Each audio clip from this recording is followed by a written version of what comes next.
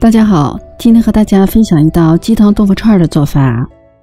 这是风靡已久的东北特色小吃，之前在大街小巷随处可见，家庭制作也非常简单。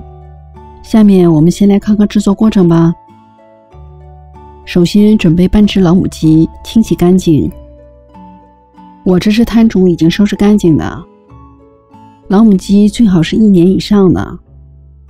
炖出来的鸡汤才有营养。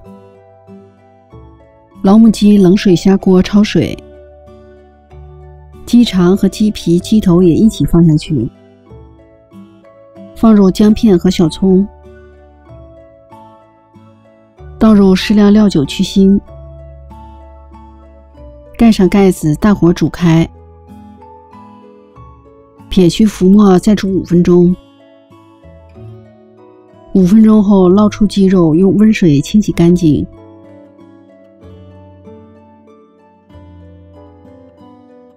生姜切成片备用，小葱切成小段备用。砂锅中水烧开，下入老母鸡，下入葱段和姜片，盖上盖子，小火煲两个小时。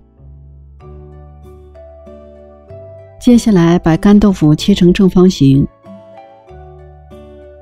像这样子把干豆腐卷起来，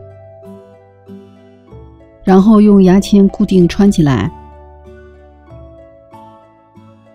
一个牙签穿三个干豆腐卷，穿好之后放入盘中备用。现在我们来准备一些蒜泥水。蒜泥倒入碗中，蒜泥中加入半碗清水，放置一旁备用。鸡汤好了，接下来先把豆腐串放入砂锅底部，把煲好的鸡汤盛入砂锅中，加入适量食盐，盖上盖子煮二十分钟。时间到，打开盖子，取出豆腐串，可以装在碗中或者盘中。汤汁是非常鲜美有营养的哦，因为是老母鸡熬出来的。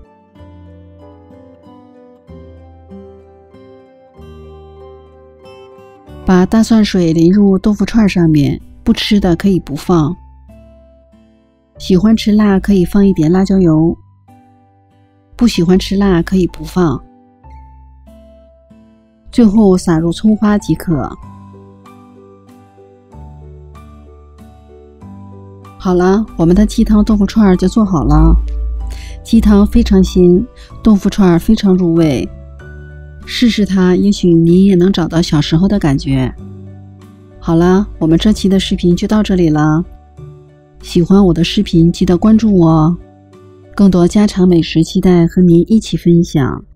我们下期再见。